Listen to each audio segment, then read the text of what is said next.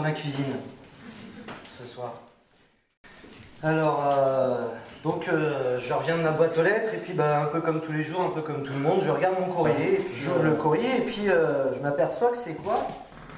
C'est ma déclaration d'impôt sur le revenu.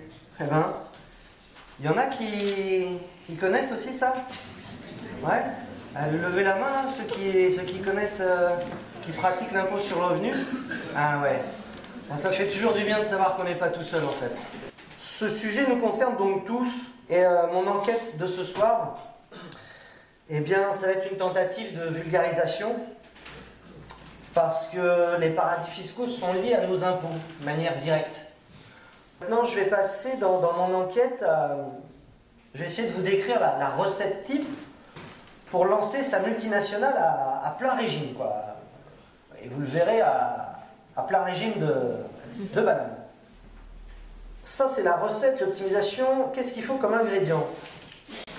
Ben, euh, les, magiciens ont considéré que pour l'entreprise de banane telle qu'elle était montée, il fallait créer des sociétés offshore. Ce qui est la magie pour quelques-uns est une hémorragie pour tous les autres. Retournons en France.